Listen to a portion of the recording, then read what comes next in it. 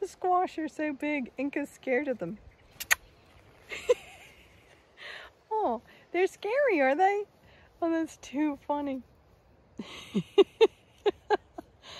oh, Inca, I'm sorry I am laughing at you because that's so funny. Are they scary? Are they scary? If I roll it, is it going to be scary to you?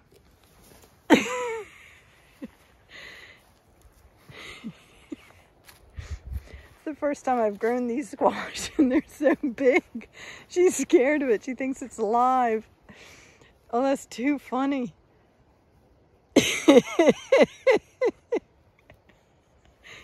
Very worried that it's going to pounce on her or eat her because it's bigger than her. Are you okay, pup? Is that scary? Well, that's today's harvest. Three huge squash. These squash here, they're really, all of them actually, are really, really good uh, sliced and diced and roasted or scrummy. And then here are my beans. And they're all growing here in this garden, part of the garden. And um, it's my own manure. And it's my mulched barns when the horses and sheep are lambing and everything.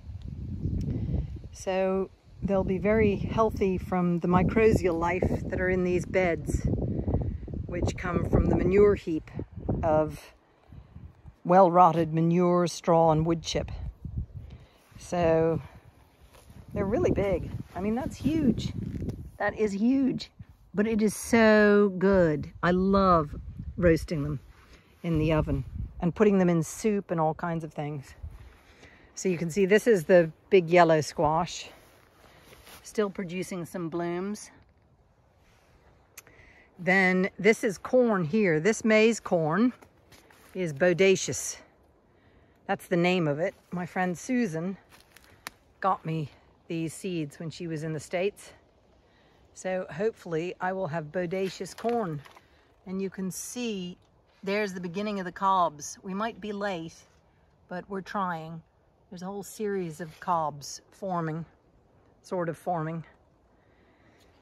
So hopefully they weren't sown too late and will produce delicious corn on the cob. You're not scared of them anymore. Oh, good. They don't scare you anymore. It's very scary, big squash. Yeah, they're so big.